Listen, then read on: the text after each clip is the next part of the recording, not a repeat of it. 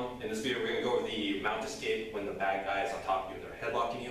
And I want to show a variation of the trap of the arm when you're doing the headlock escape. Because I, I think if you experiment with this, you will find that it has some technical superiorities that will make the trap a little bit better. So first, let me show you the, the traditional way of doing the arm trap. So JJ's got me in the mount, he's the bad guy, he's headlocking me. The traditional trap is to cut the person's arm, whether it be on the shoulder, tricep area. And this will work, especially against an unskilled person. But I found there's a few problems with this.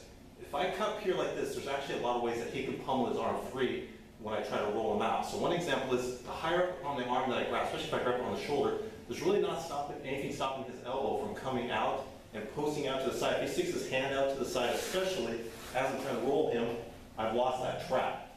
Even at, this area here, lower on the tricep, still, if he's stronger than me, he still might be able to drive his elbow out to the side and do the exact same thing. His elbow will be out even worse, eventually he'll rotate the hand out, and I won't be able to roll him.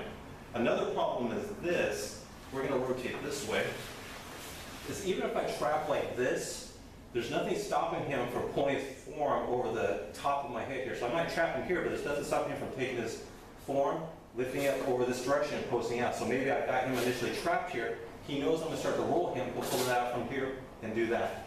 Some people argue, well, yeah, but what if you just keep your head pinned to the ground? We found that if we pressure test this, that my head, my neck muscles are only so strong. If he really wants to, he can muscle through this. Go ahead, JJ.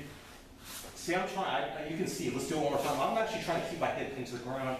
I'm just, ow. I'm not even strong enough, and I just look like a jackass. I put myself on the floor, which would be even worse on pavement.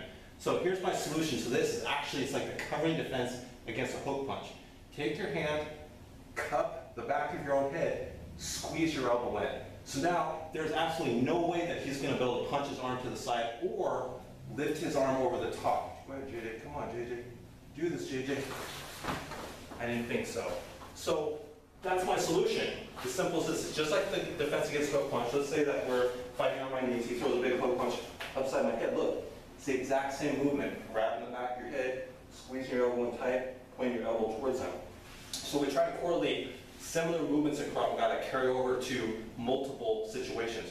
Well, that same trap will also work, that, or that same covering defense will also work for this trap. So I'll do it one more time, but from a different perspective. So Jay just cut the mount on me. So normally we're here like this when he headlocks me.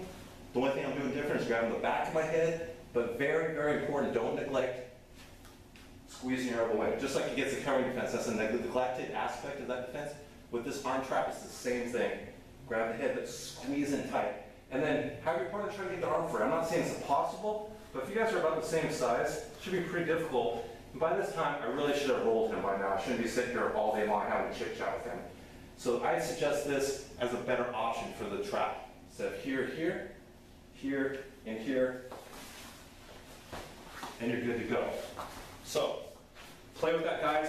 Have your partner pressure test a little bit. Try it. See if they can get your arm, their arm free. And I think they're going to have a much difficult time to do that. Anyway, play with that variation. Personally, that's the only way I teach it at my Krav Maga school. Have a good day, guys.